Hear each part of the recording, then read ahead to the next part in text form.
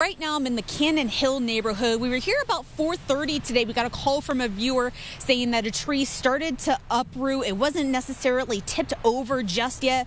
We went out of the area. Then we got a text from that same viewer saying the tree indeed did come down. And then when we got here, this is what we found. We found this power line. It could be an internet or a cable line, just completely toppled over. The fire department was here, blocking off this road near Shoshone and 18th, and it is still blocked off right now now. Again, that tree did indeed come down. We've been seeing a lot of trees just really swaying in the wind, almost looking like that they're going to come down. A lot of branches also falling as we were driving as well and all over the road. We're going to keep driving around to see if we see any more damage. If you have any damage photos, please send them to us. But for now, reporting live in Spokane, Caitlin Knapp, 4 News Now. We'll be right back.